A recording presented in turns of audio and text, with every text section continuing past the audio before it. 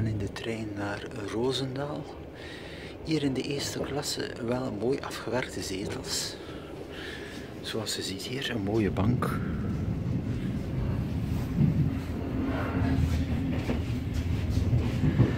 Het is dus wel een eerste klasse, eerste klasse met stijl.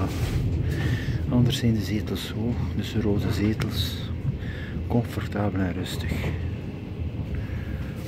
Dus hier dus nog een zicht van NS eerste klasse richting Roosendaal.